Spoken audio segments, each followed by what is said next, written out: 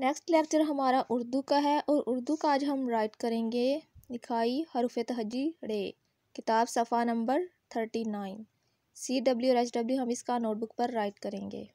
First of all हम page पर आज की डेट डालेंगे और जमात का काम लिखना स्टार्ट करेंगे।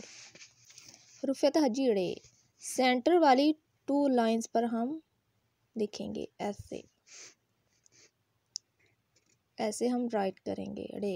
ऐसे साथ साथ आप इसे रीड भी करेंगे। रे रे ऐसे आप राइट करते जाएँगे नेक्स्ट रे रे रे रे रे ऐसे। सर नेक्स्ट लाइन पर भी हम ऐसे ही हरूफ तहजी रे लिखेंगे। सेंटर वाली टू लाइंस पर। ऐसे। रे रे रे रे ऐसे आप राइट करते जाएँगे रे रे रे रे इस तरह। इस तरह जमात का काम हमारा कंप्लीट हो गया। नेक्स्ट पेज पर हम लिखेंगे घर का काम। घर के काम में भी हम हरूफ तहजी रे लिखेंगे। सेंटर वाली टू लाइंस पर ऐसे, अड़े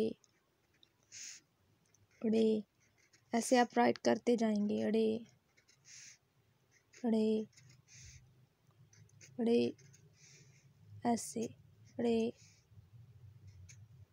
रे रे रे ऐसे। इस तरह नेक्स्ट लाइन पर भी हम ऐसे ही राइट करेंगे सेंटर वाली टू लाइंस पर, ऐसे रे रे। रे। रे। रे। रे। रे। रे। रे। ऐसे। इस तरह हमारा जमात का काम और घर का काम कंप्लीट हो गया और आपने अच्छे तरीके से राइट करना है। Thank you